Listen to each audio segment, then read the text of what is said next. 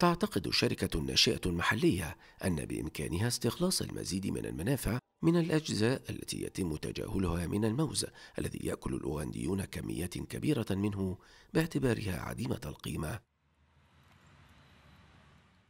وتستخدم شركة تكس فاد ألياف الموز الطبيعية لإنتاج مواد صديقة للبيئة مثل السجاد ووصلات الشعر القابلة للتحلل. عندما يقطع المزارعون الموز من الأشجار يتركون الجذوع الضخمة المنتفخة لتتحلل وتقوم تكسفاد باستخراج الألياف من أجزاء من جذوع الأشجار التي يحرقها المزارعون أو يتخلصون منها في العادة.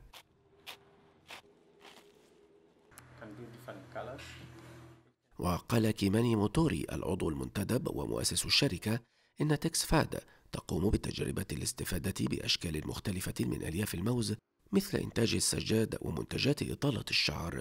Hair.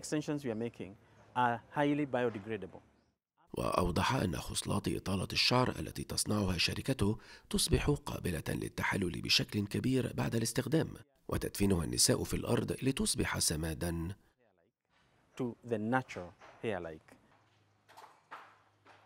ويعتقد موتوري أن المادة العضوية الخفيفة يمكن أن تحل محل بعض الألياف الصناعية وتستخدم في صنع منتجات ورقية مثل الأوراق النقدية.